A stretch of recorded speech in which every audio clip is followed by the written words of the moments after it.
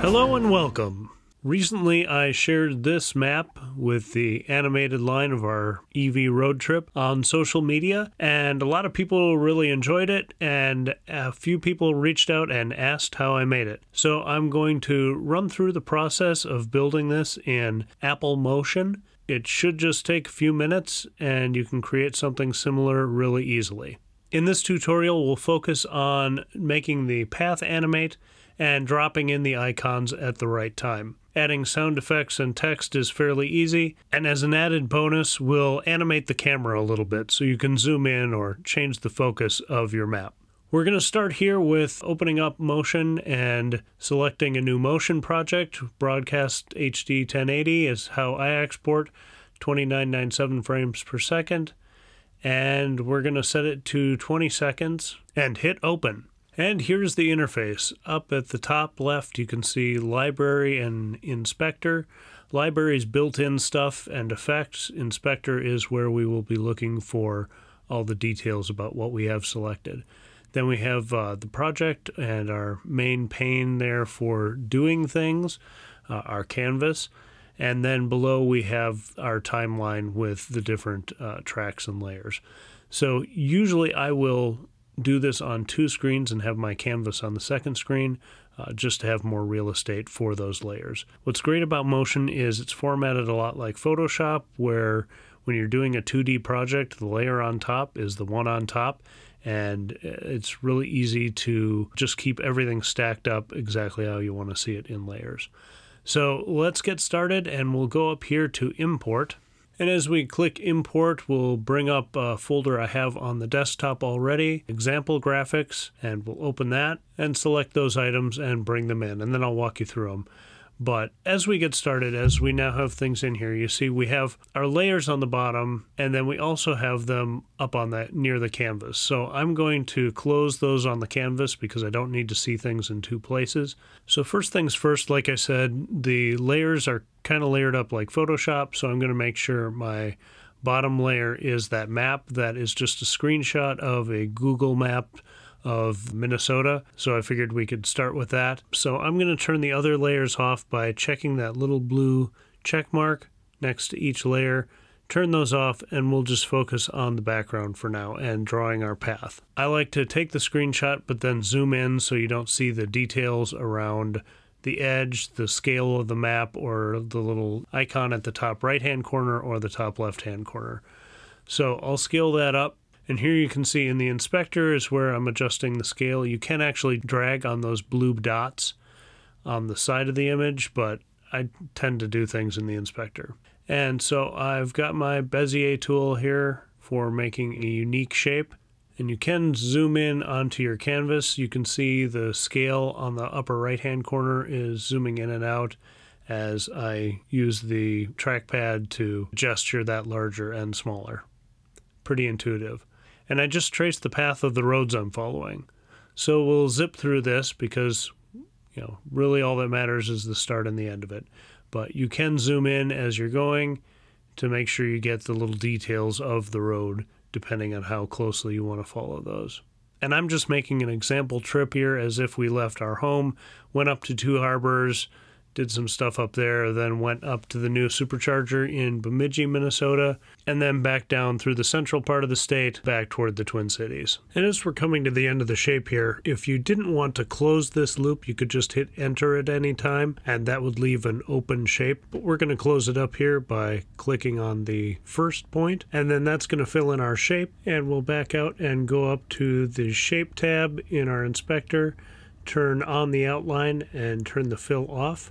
Then we'll go down to the outline and change the color to, I like a nice Tesla-like red. And then change the width of that outline to 10 to make it stand out and show our path nicely. So with that Bezier shape still selected, we are going to look at these bottom sliders for first point offset and last point offset and slide them back and see which one is taking you the way you want to travel. This is going backwards as I drag the last point offset, and so I'm going to keyframe the first point offset instead. And we'll start with that at 100%, and we'll set a keyframe. But first, we're going to move in about a half a second just so we have some room for transitions and mark a keyframe there. And then determine how long you want your animation to last. We're going to go about 12 seconds and drag that slider back and it automatically puts a keyframe there. So if we play that back,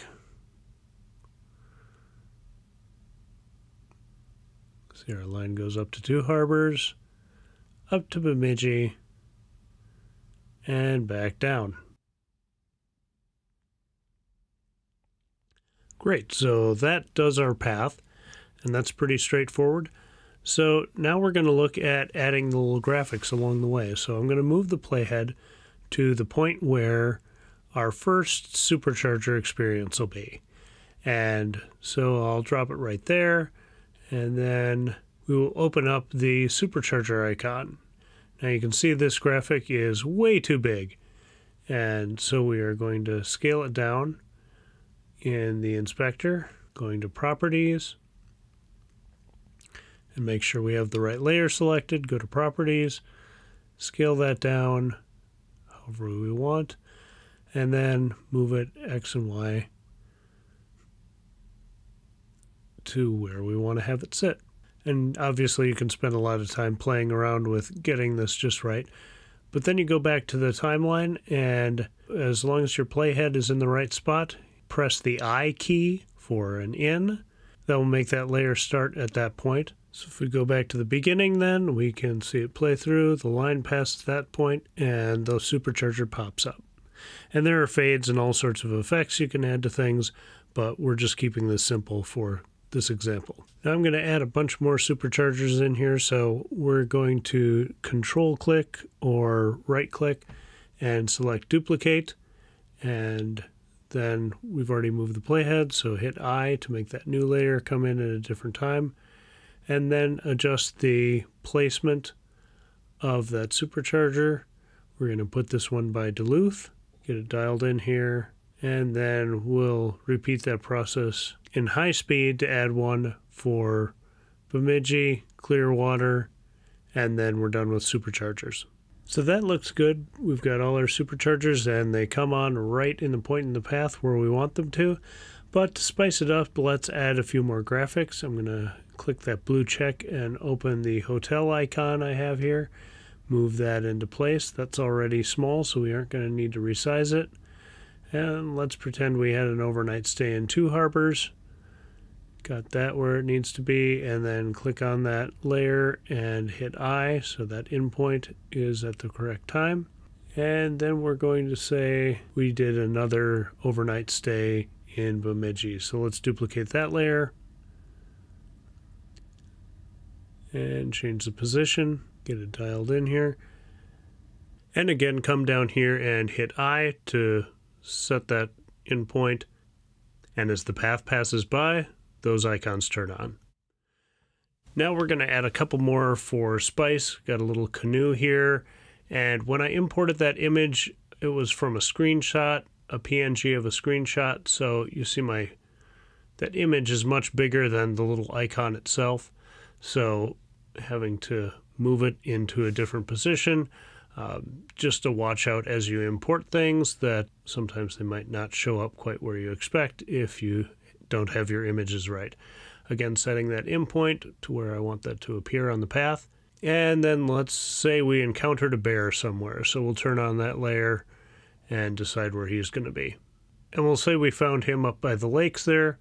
Again, hitting the endpoint and getting our path to where we want him and get him placed just right. So now let's look through that whole thing, replay it, and we got the supercharger in Hinckley, up to two harbors for the hotel, another supercharge in Duluth, see the Black Bear, hotel in Bemidji, kayak, supercharge in Clearwater, and then back home. And that all looks pretty good. And we'll add a little motion into this, but first I want to clean up these layers. And so I'm going to shift click all those supercharger layers and then control click to put them into a group, call that superchargers, rename the Bezier in as route, and then I will put the hotels in their own group too. So control click, make a group, and call that hotels. Close those up, and that just simplifies things a little bit. So now let's go to the overall group.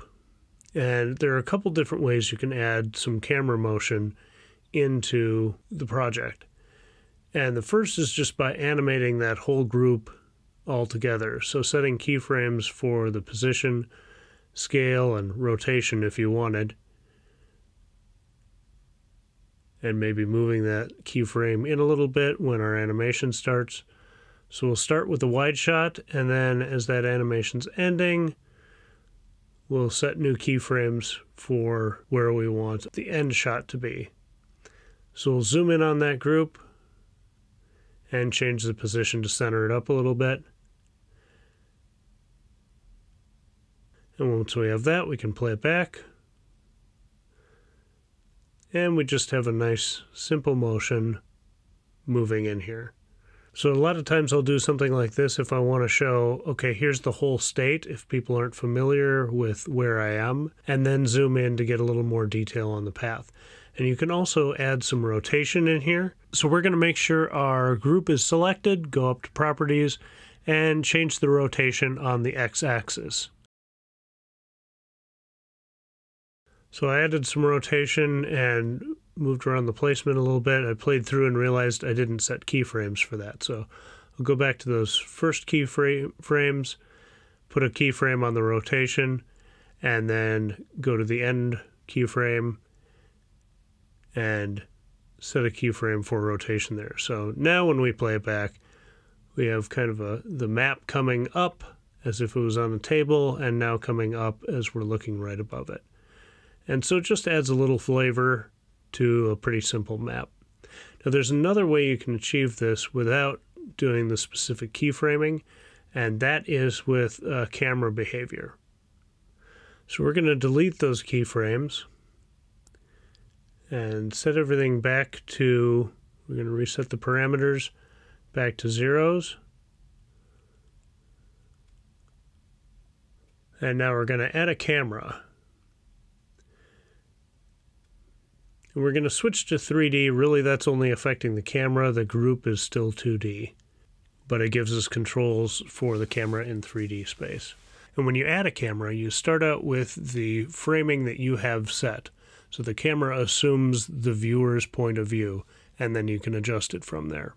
And so we're going to add a sweep behavior to the camera and set the tilt to X. Uh, we're tilting, we're sweeping on the X axis, and we're going to just change our perspective a little bit.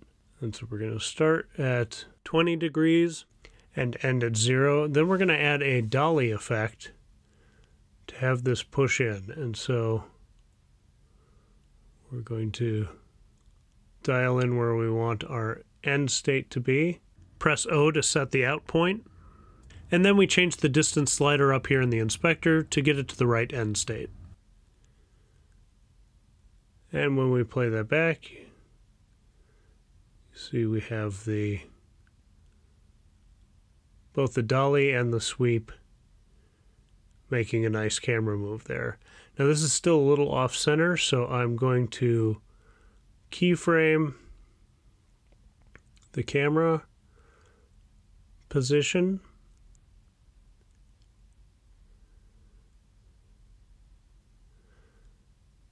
And so at the end, we're more centered up on our path, like we were with the other keyframes.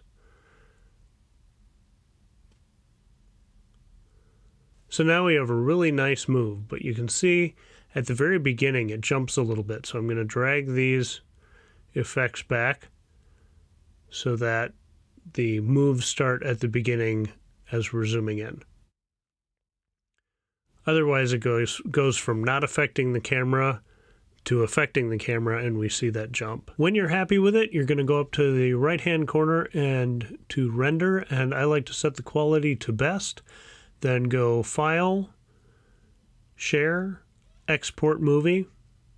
That brings up the little window where you can change your settings if you want a different video flavor or do video and audio if you have that all built into the project. Next, then name your project and save. We'll take a look at the final result of what we did here, and then an example of a more organic look I made for the Frunkful of Diapers road trip series I did last year, with hand painted and drawn assets for a different look.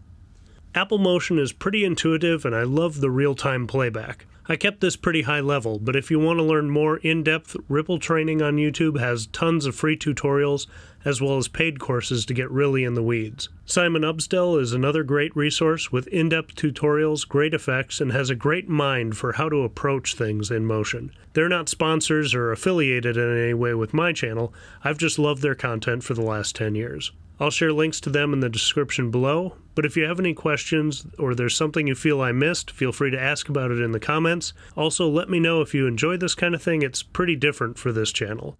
But thanks for watching, and have a great day.